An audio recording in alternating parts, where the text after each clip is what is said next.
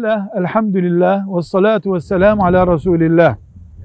Maalesef eskiden nadiren görülen, şimdi yoğun olarak görülen nikahtan önce nişan bozma ve evlilik adaylarının ayrılması durumunda birbirlerine verdikleri hediyeler ne olacak?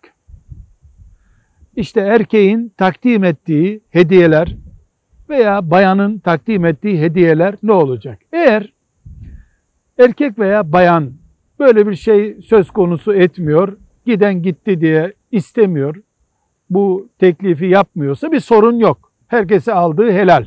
Hayır, verdiklerimiz geri gelsin diyorlarsa, Hanefi alimlerinin ölçüsü şöyledir. Tüketilmemiş, hala duran bilezikti, çantaydı, benzeri şeyler geri alınabilir. Tüketilecek şeyler çikolataydı, işte yiyecek vesaireydi. Bunlar geri istenmez. Alınmasında da bir sakınca yok. Velhamdülillahi Rabbil Alemin.